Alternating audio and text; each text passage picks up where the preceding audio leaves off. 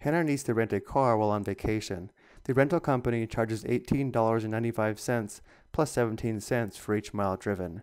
If Hannah only has $40 to spend on the car rental, what is the maximum number of miles she can drive? Let's first let the variable m equal the number of miles driven.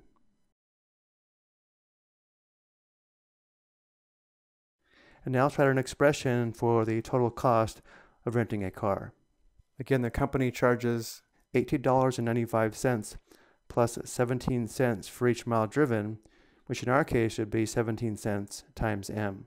And therefore the expression for the total cost is 18.95 plus 0.17 m.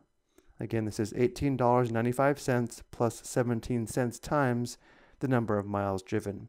And since Hannah only has $40 to spend on the car rental, this total cost must be less than or equal to 40. And now solve the inequality for m. The first step is to isolate the m term by adding or subtracting. To undo the positive 18.95, we subtract 18.95 on both sides of the equation. Simplifying,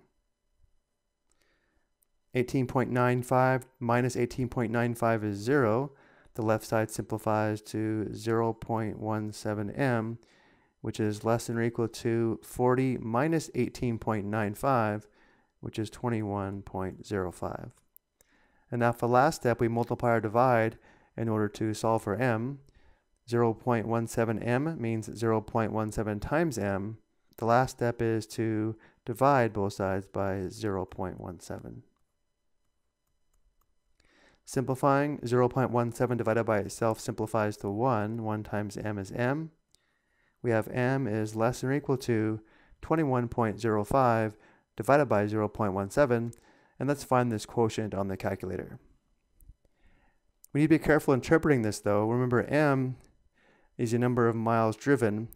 Assuming Hannah cannot drive a fraction or decimal part of a mile, we would not round this up to 124 because if we did, then the cost would be more than $40, and therefore we're going to round down to 123. And therefore m, the number of miles driven, must be less than or equal to 123, and therefore Hannah can drive a maximum of 123 miles without the cost of the rental going over $40.